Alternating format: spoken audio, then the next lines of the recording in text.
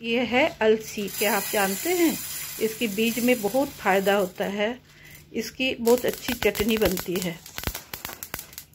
इसकी बीज, इसको हल्की सी तावा को गर्म करके दो मिनट अच्छी तरह से इसको भून लेना चाहिए तावा में।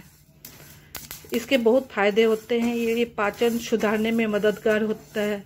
स्किन के लिए बेहतरीन होता है। कैंसर से बचाता है। इसको हमने हल्के से भून के मिक्सर जार में डाल दिए, थोड़ी सी खसखस, नमक, और देके एक पतली सी ऐसे पेस्ट बना लिए। फिर इसको हम कटोरी में डाल लिए। फिर बारीक बारीक कटी हुई मिर्च और प्याज इसमें डाले। थोड़ी सी पानी, थोड़ा सा सरसों का तेल। फिर इसको एक अच्छी तरह से इसको मिक्स करके मिक्स कर लिए हम। ये हमारी चटनी तैयार हो गई।